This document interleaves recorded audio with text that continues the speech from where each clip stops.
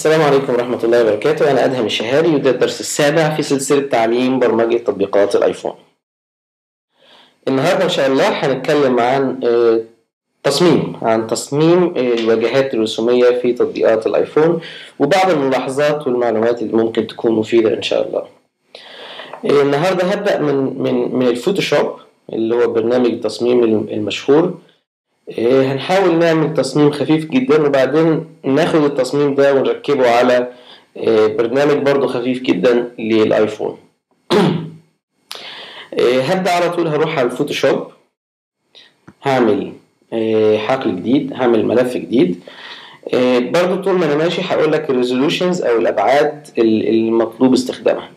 أنا هبدأ دلوقتي بتصميم الأيقونة بتاعة التطبيق بتاعي. عادة بنبدأ أو أكبر حجم أبل بتطلبه منك 512 بكسل في 512 بكسل ال resolution 72 دي دايما بتبقى ثابتة. okay؟ أه هدوس okay. وهيفتح لي أه الحقل بتاعي أو التصميم بتاعي. هعمل تصميم خفيف جدا وأيقونة. أنا هحط يعني مجرد حاجات بسيطة. أنا ده الدرس السابع. فهخلي الأيقونة بتاعتي مثلا عبارة فقط عن رقم سبعة.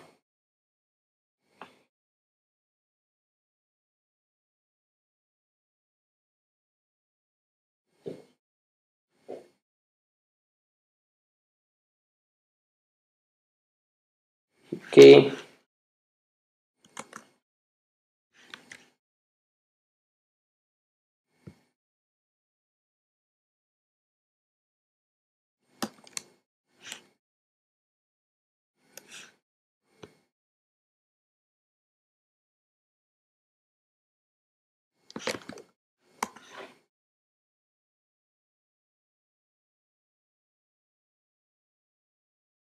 تمام. فمثلا دي الأيقونة بتاعتي. بعد كده هعمل save هحفظ الملف ده ملف PSD بتاعي.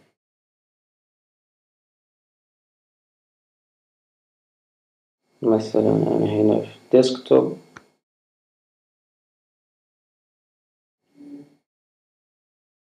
iPhone course.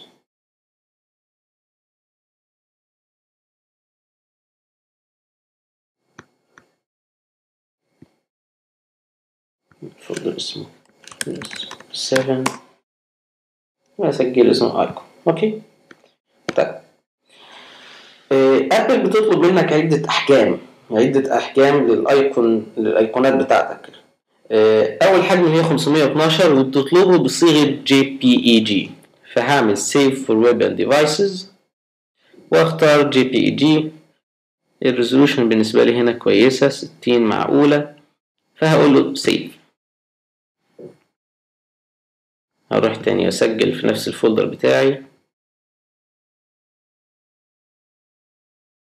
هعمل فولدر هنا لل graphics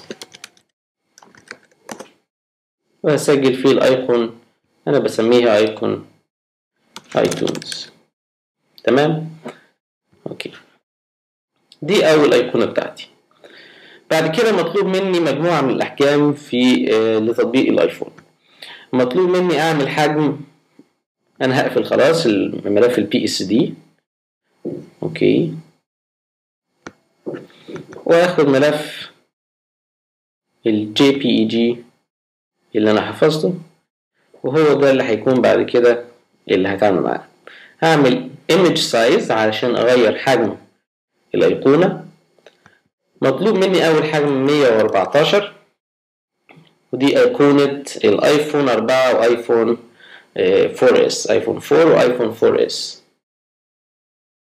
okay. وبعدين هعمل save وهحفظ الايقونه دي save برضو for web and devices لكن من هنا ورايح ما عدا الصورة اللي حفظتها من شوية كل الصور هحفظها بصيغة PNG 24 تمام؟ هي دي الصيغة المفضلة عموما. عند ابل لكن الصورة الكبيرة بس اللي هي اللي إحنا صح سيبناها الايقونه الكبيرة هي اللي كانت JPG لكن بعد كده يفضل إن أنت دايما في في تطبيقات الآيفون كل ال designs والصور بتاعتك تحفظها بصيغة PNG آه، هعمل حفظ وده هيجيبني لنقطة تانية هو تسمية الملفات بتاعة آه، التصميم.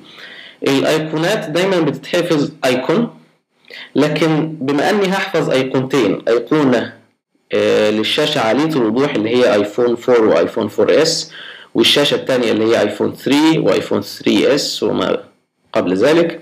فدايما هو في صيغة للتسمية. أي صورة أنت هتحفظ منها نسختين نسخة حجم كبير عشان تتعرض عالية الوضوح ونسخة بحجم صغير الحجم الصغير بيبقى الاسم اللي انت عايزه أي اسم كان للصورة.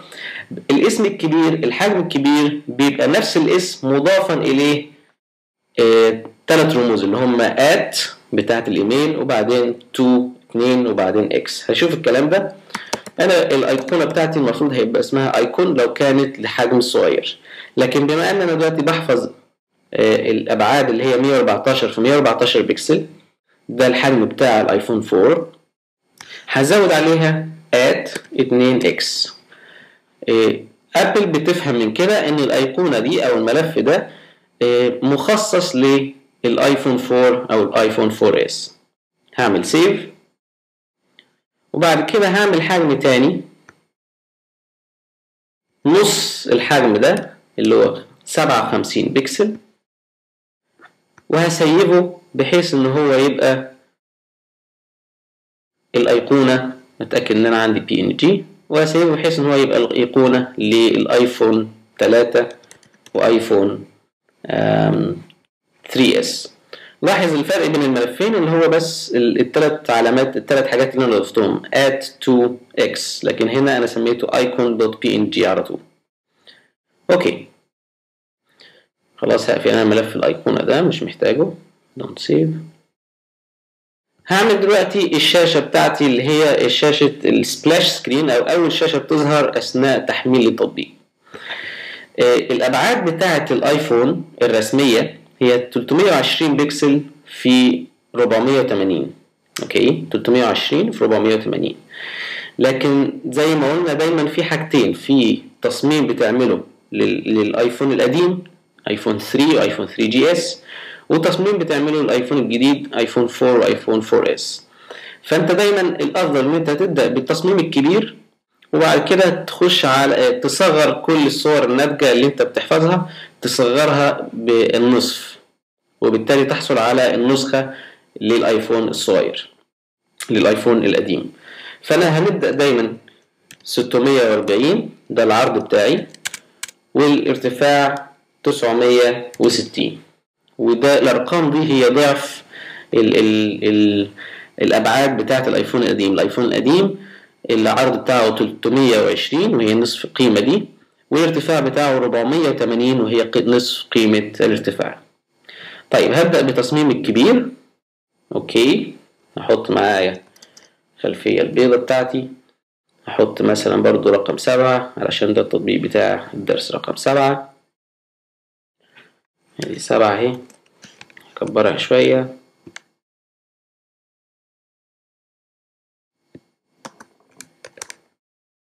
طبعا ده مش مش درس فوتوشوب بالمقام الأول إنما هو درس إزاي تستخدم الفوتوشوب لعمل آه، ال- الملفات بتاعه الآيفون. هضيف هنا أي أي حاجة كده أي منظر علشان أفرق بين الصور دي وال icon مع إن الأبعاد واضحة بس برضو علشان يعني. Okay تمام. يبقى دي الشاشة الابتدائيه بتاعتي اللي هتطلع في بداية آه، تطبيق الآيفون. آه، هحفظ الشاشة دي. Save for web and devices. تمام. هتأكد إن أنا مختار png دايما. Save. وهسميها default. ده الاسم بتاع ال- ال- الشاشات اللي بتطلع في أول التطبيق. دايما Apple بيدور على الاسم ده. يعني الآيفون برنامج الآيفون بتاعك بيدور على الصور اللي بالأسامي دي. وبما أن أنا بصمم لل- للآيفون 4 وآيفون 4S هزود at 2x وأقول له save. okay؟ دلوقتي خلاص ممكن اسيب دي كملف فوتوشوب عشان لو حبيت أعمل تعديل بعد كده هسميها default psd Okay؟ close هفتح الملف ان جي اللي أنا عملته. Default at 2x وهعمل نسخة تانية للآيفون القديم. عملت أنا image image size. وبعد كده هخلي عرضه 320 والعرض الارتفاع automatically بيتغير لأن أنا عامل constrain proportions. فالأبعاد بيتحافظ عليها أقول له okay. وبالتالي دلوقتي أنا حصلت على النسخة الصغيرة. هعمل save as أو save for web and devices. أقول له save. وهشيل هسميها باسم ملف تاني. هشيل التلات علامات اللي هي at 2x وكده هحصل على نسخة الآيفون القديم طيب كده أنا يعتبر خلصت التعامل مع الأيقونة وملف الشاشة الافتتاحية. ممكن أعمل شاشة كمان كده فيها زرار علشان تبقى دي شاشة التطبيق نفسه. هستخدم نفس ملف الفوتوشوب بتاعي بتاع ال default. Okay. هشيل الحتة الخضرا دي وهحط مثلا زرار معين. دلوقتي ده استخدام فوتوشوب بيعود للتصميم بتاعك. Okay.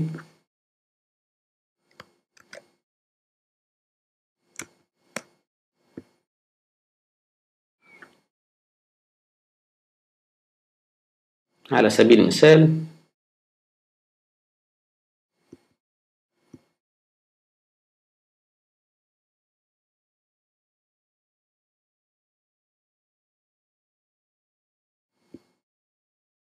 Okay أنا مش هطول في المنطقة دي عشان ده مش موضوع الدرس لكن هقول okay. فرضا ده الزرار بتاعي. دلوقتي الشاشة دي ده التصميم بتاعك أو التصميم بتاع البرنامج هيكون فيه بعض العناصر يعني مش هيكون صورة واحدة وهتصدرها وإنما هيكون في حاجات عايزة تتصدر على حدة. يعني الزرار ده أنا محتاج أخده لوحده من الآيفون. ف اللي أنا بعمله إن أنا هقسم في دماغي التصميم لأجزاء مستقلة. فأنا دلوقتي عندي جزئين عندي جزء الخلفية اللي هي مثلا الشاشة البيضاء مع رقم سبعة وعندي جزء تاني اللي هو الزرار. فهحفظ كل واحد منهم على حدة. هبدأ الأول بالخلفية. هعمل أخفي الزرار. وهعمل فايل save for web and devices. وأقول له خلاص كده ده save هسمي مثلا الملف ده بتاعي background وما انساش أحط ال at 2x okay؟ دلوقتي أنا مش هعمل النسخة بتاعت الآيفون القديم لأن عندي أنا أداة تانية بستخدمها بحيث إن أنا أعمل automatically نسخة للآيفون القديم. هقول لك عليها بعد ما أخلص التصدير عناصر التطبيق. دلوقتي أنا حفظت الخلفية. عايز أحفظ الزرار الزرار لوحده. دلوقتي أعمل أنا عملت إظهار للزرار لوحده وعملت إخفاء لبقية عناصر أو مناطق التصميم. هعمل zoom هنا شوية وأقرب منه. في أداة هنا اسمها slicing tool أو slice tool دي بحدد الجزء من الصورة أو من التصميم اللي هيتحفظ لوحده. فأنا بحدد بيها. مثلا more or less تحاول إن أنت تبقى دقيق. بس أنا حددت الجزء ده من الصورة. Okay؟ هعمل zoom out وأبعد شوية. دلوقتي الصورة اتقسمت. دايما هي بتقسم لمربعات. فعندي واحد اتنين تلاتة أربعة خمسة. خمس مربعات. الخمس مربعات دي هينتج عن الحفظ خمس صور لكن أنا مش مهتم بالمناطق المربعات الفاضية أنا مهتم فقط بالصورة اللي فيها الزرار بتاعي. كل صورة من دول اسمها slice أوكي؟ اسمها slice فأثناء الحفظ هيقول لي أنت عايز تحفظ كل ال slices يعني كل المربعات دي ولا عايز تحفظ ال selected slice لاحظ إن دي مثلا اسمها باللون الأزرق وحواليها ال border أو الإطار برتقالي فده ال selected slice بقية ال slices هي slices مش مهمه هروح نفس دايما لطريقة الحفظ بتاعتي وأقول له save for web and devices. قبل ما أعمل حفظ عايزك تلاحظ إن أنا عندي الخلفيه شفافة. وعشان كده أنت شايف في الفوتوشوب ده تمثيل الخلفية الشفافة اللي هو المربعات الرصاصي في أبيض. فانا هعمل أنا عامل حسابي إن الخلفية بتاعت الزرار تكون شفافة علشان أعرف أركبه على أي background هعمل save for web and devices. هعمل مثلا zoom out. أوكي اتاكد إن أنا تمام؟ بالأداة الصغيرة اللي فوق ال zoom أقدر أختار ال slice بتاعتي لكن هي already بالفعل تم اختيارها. هعمل حفظ. وهختار من تحت مش all slices وهختار selected slice selected slices يعني ال ال احفظ فقط ال slices المختار. بعد كده هعمل save وبالتالي تم الحفظ. هروح على ال folder بتاعي دلوقتي أو المكان اللي تم الحفظ فيه علشان أشوف إيه اللي حصل. عندي هنا ايفون course lesson سبعة أوكي. عندي folder graphics أوكي أما عملت save for web and devices أول ما بتعمل slices دايما بيعمل لك folder فيه ال slices اللي ظهرت وبيسميه images أوكي هختار أفتح ال folder هلاقي فيه صورة واحدة اللي هي صورة الزرار بتاعي وهو مسميها باسم الملف underscore رقم ال slice هغير أنا التسمية دي هدوس مجرد enter وهسميه مثلا button underscore لا من غير underscore كفاية button وبعد كده at 2x. أوكي اعمل enter طبعا أنا حطيت at 2x علشان دي ال ال ال ال الحجم بتاع الآيفون الجديد اللي هو آيفون 4 آيفون 4 اس أوكي هطلع فوق. يعني أوكي دلوقتي أنا عندي الباك جراوند اهي at 2x بس عندي منها نسخة واحدة لل... للآيفون الجديد فهجيبها في نفس ال folder علشان أحجمهم مع بعض. دلوقتي الفولدر ده عندي العناصر بتاعت التصميم عندي ال background 640 بكسل وعندي الزرار حوالي 295 بكسل في أداة جميلة أنا بستخدمها برنامج اسمه Resize It برنامج مجاني.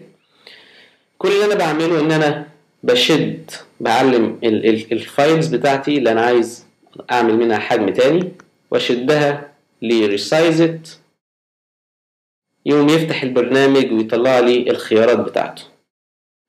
بيقول لي عايز أنا هسمي هنا مثلا ال settings ايفون old هقول له high quality عايز خمسين في المية يعني نص الحجم وهختار PNG هقول له resize هيعمل لي folder اسمه ايفون old في نفس الملفات دي لكن حجم النصف. تمام؟ فأنا دلوقتي لما أعمل up هلاقي الحجم الكبير ولما أخش ال folder هلاقي الحجم الصغير. فاضل خطوة واحدة بس إن أنا أعمل تغيير اسم ملفات الحجم الصغير.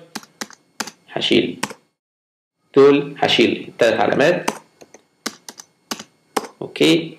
كده أنا جاهز وعندي ال الملفين بتوع الايفون القديم. أوكي؟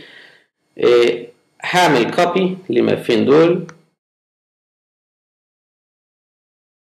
وأحطهم في نفس المكان علشان يبقى سهل إن أنا paste items. كده أنا عندي الأربع ملفات اتنين بتوع التصميم الايفون القديم الجديد عفوا بحجم كبير واتنين بتوع الايفون القديم.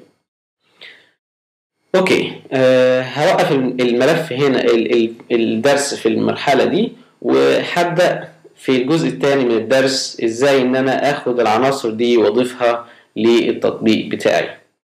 شكرا وأشوفكم في الدرس القادم إن شاء الله.